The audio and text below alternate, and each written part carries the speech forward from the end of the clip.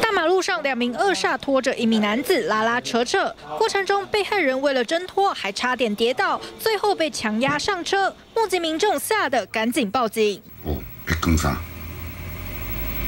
俩人啊！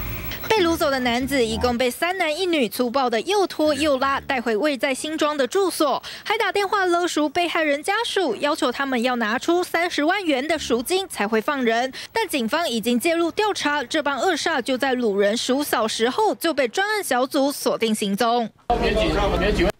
批便衣员警冲上前，把嫌犯从车上拉下来，压在引擎盖前。其他车上共犯也一一被上铐逮捕，肉票终于获救。当街掳人案发生在十一号晚上七点多，五股陈泰路二段上。十八岁的陈姓被害人曾经以白糖假装 K 他命，用九万元卖给二十岁的陈姓嫌犯，涉嫌黑吃黑。主嫌不甘被骗，于是设局把被害人约出来，再强掳上车，带回住处凌虐，再逼他签下四张三十万元本票，最后打给家属勒赎三十万，一共一百五十万元。家属没钱，赶快向警方求救借假钞，两方相约交付赎金地点。最后十二号上午十一点，警方在北市库伦街收网抓人。